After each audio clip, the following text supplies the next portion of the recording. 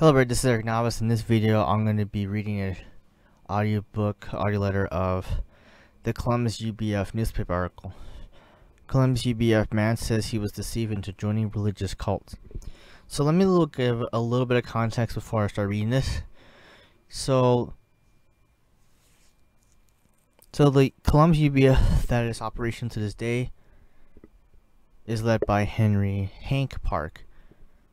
But but that was like I guess the reboot of the original Columbus UBF. This article about to read right now is was about was about the original Columbus UBF that was made back in the late 1970s and got disbanded in 1980s. It's made by Peter M. Chang, a former UBF missionary, who is now a minister at a Presbyterian um, seminary school, I believe. But I'll talk about that more in another video about the history of that. So anyway, we'll get right into the video. Columbus UBF. Man says he was deceived into joining a religious cult. So that's the title, right?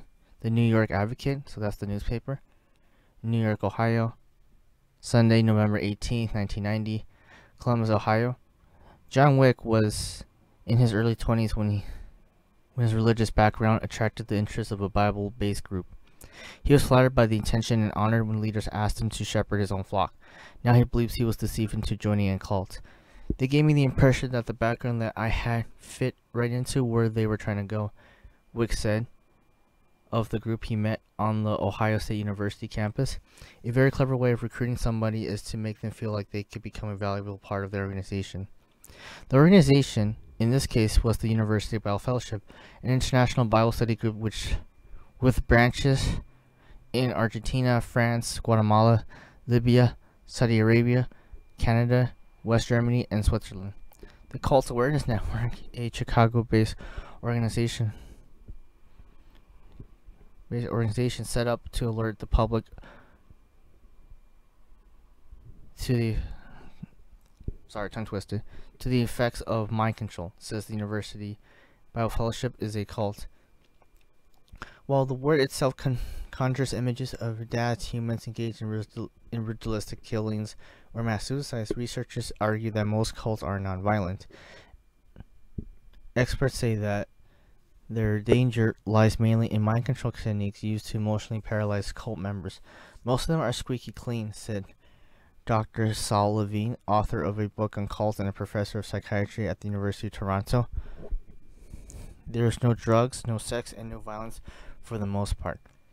But, Levine explained, it's a tragedy because a lot of talented, wonderful young people just fall by the wayside.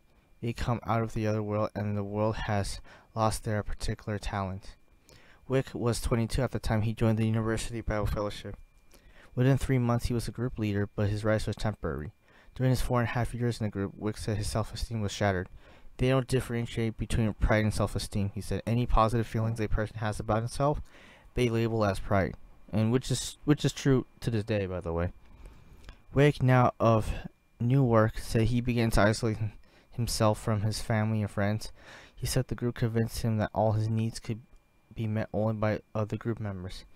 Wick said the group exerted further control and making him feel guilty about past relationships with women. Sometimes when I dated in college, it was nothing more than going to church on Sunday morning and then talking to her to the dining hall for lunch in the afternoon, and a walk in the park that evening.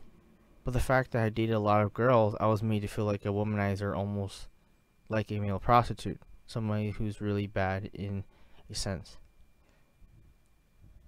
Yeah, so um, I'll put a link in the description, a playlist about UBF marriage faith. I want to be able to talk about the no dating policy and how they arrange marriages. Wick became disillusioned when he discovered discrepancies between the group's teaching and actual practices.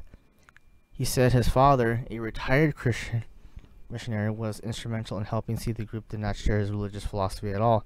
Jerry King, a leader of the Columbus chapter of the University Bible Fellowship, denies the group is a cult, but he admits members must relinquish themselves to the group.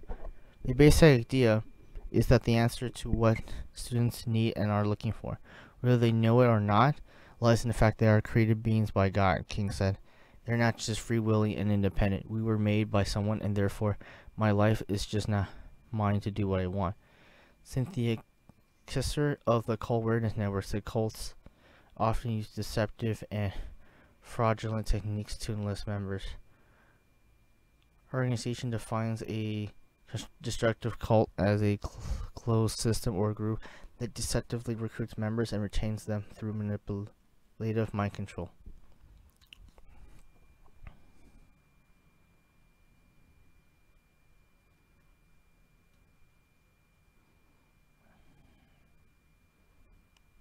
Hmm, and that's the end of the video.